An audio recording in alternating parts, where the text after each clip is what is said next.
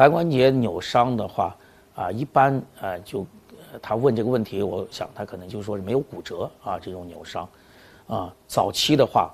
啊是应该，比如肿胀了啊，就要给一冰敷，哎，要制动，啊，特别这个制动我觉得是挺重要的，因为在我的门诊经常会见到一些病人，就是我踝关节当时扭了，哎，肿得很厉害，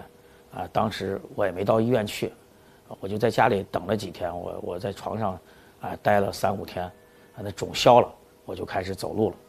啊，开始还行，但是走了一个月，发现，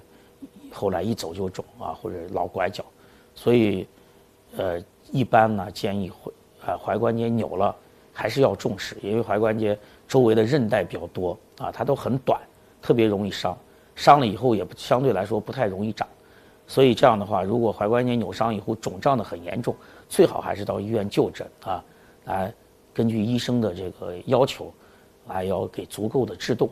啊，给他有一个早期的修复，否则的话，它会造成后期的这个踝关节的这个